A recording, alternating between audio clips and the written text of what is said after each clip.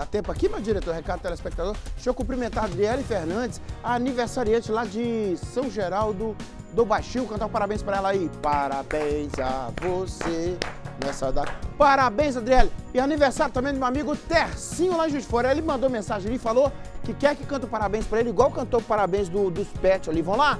Au, au, au, au, au, au. Au, au, au, au, au, au. Como é que os amiguinhos dele fazem na festa? Cês.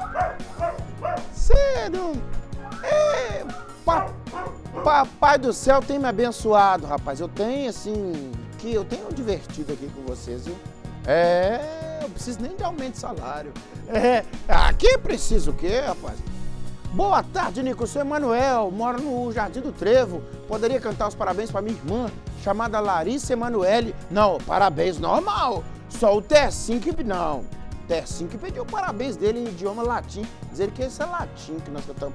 Aí, ó, ela está completando cinco meses. Você só nota mil. É mêsversário. Parabéns para Larissa Emanuele. Beijo para ela. Beijo para você aí, Emanuel. Manuel significa Deus conosco. Boa tarde, Nico. Essa princesa é, é a Eloá. Hoje ela completa dois meses de vida. Estamos ligadinhos no programa. Sou a. É, Jaina, Jaina, do bairro Planalto. Manda um abraço para vovó Coruja Zeni. Beijo para vovó Zeni, para Jana Siqueira e para a Eloá. Olha, você que gosta de fotografar crianças, Evanique. Top, você gosta, né? Você, você gosta. Próxima! Olha ela. Boa tarde, Nico. Hoje é o aniversário da minha filha Maíra. Man... Ou Maíra, né? Manda um parabéns para ela, por favor. Você. O que, que eu sou, Liana Monier?